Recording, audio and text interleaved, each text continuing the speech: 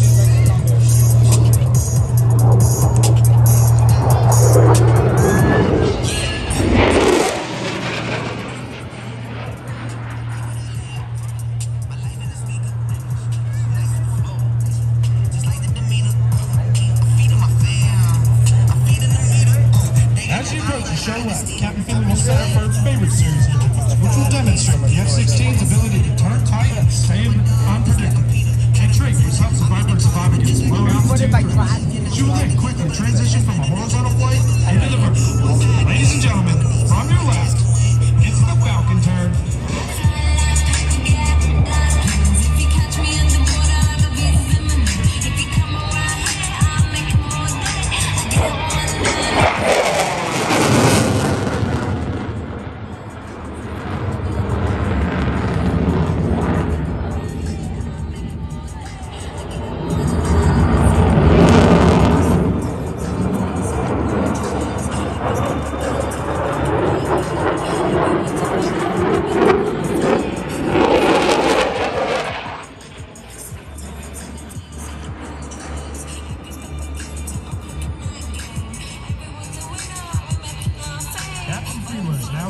F-16 to prepare for a slow-speed, high-alpha pass.